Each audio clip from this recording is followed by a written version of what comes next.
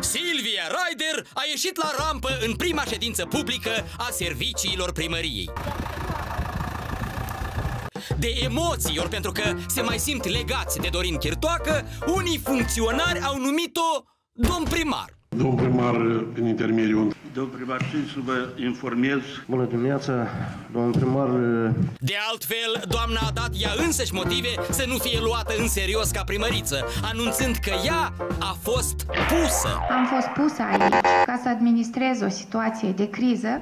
După care doamna pusă le-a citit subalternilor săi un discurs cu tonul unei tovarășe învățătoare de clasele primare din perioada sovietică. Azi voi emite prima dispoziție de la numirea în funcție prin care voi obliga toate structurile din primărie să afișeze pe site-ul primăriei toate cheltuielile publice, așa încât mass media și cetățenii să poată vedea cum se cheltuie banii primăriei.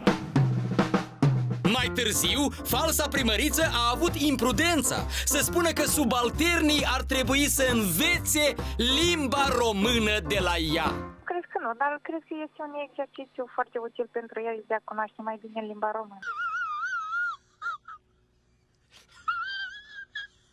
Aoleu, doamnă, nu era cazul să spui asta Pentru că la capitolul limba română stai prost de tot Chiar dacă ai început din start să-ți impresionezi subordonații Cu un cuvânt uh, mai deștept, de gringoladă Este o situație de gringoladă Doamne filolog, poate ai vrut să spui este o degringoladă. Ori este situație de degringoladă Adică de degradare, de criză. Pentru că așa e corect românește Și nu cum zici dumneata este o situație de gringoladă Este o situație de gringoladă dar acest degringoladă este un fleac pe lângă chestii mult mai grave. Vă spuneam că doamna amintește de o tovarășă învățătoare din perioada sovietică și asta mai ales grație numeroaselor calchieri din limba rusă. În loc să spună este vorba, ea zice ca pe timpuri, merge vorba. Că merge vorba nu doar de o singură persoană.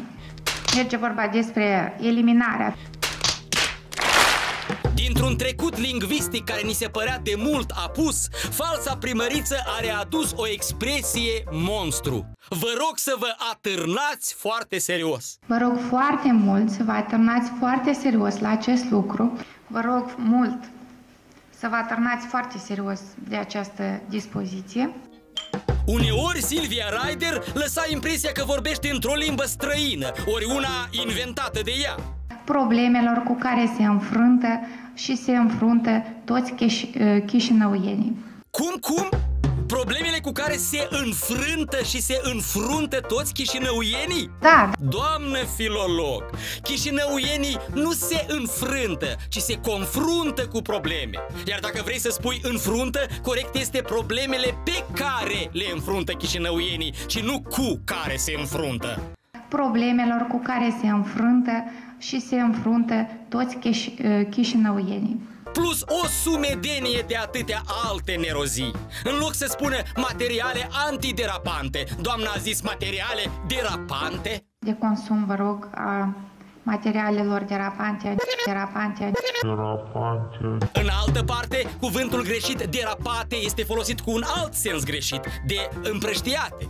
Aceste uh, substanțe chimice sunt uh, derapate înainte cu o zi. Știți de ce vă spuneam că doamna Ryder a încremenit într-un fel de perioadă sovietică? Întrucât grădina publică Ștefan cel Mare mai continuă să se numească pentru ea ca și pe timpurile lui Brejnev, Parcul Pușkin. Parcul central de lângă catedrală și Parcul Pușkin. Parcul Pușkin. Parcul Pușkin. Stranii rămășițe sovietice la o tipă care a fost atâția ani managerul uneia dintre cele mai mari companii capitaliste de la noi.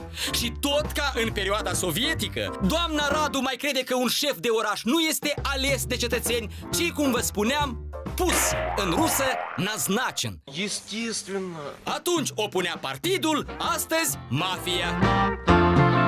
Am fost pusă aici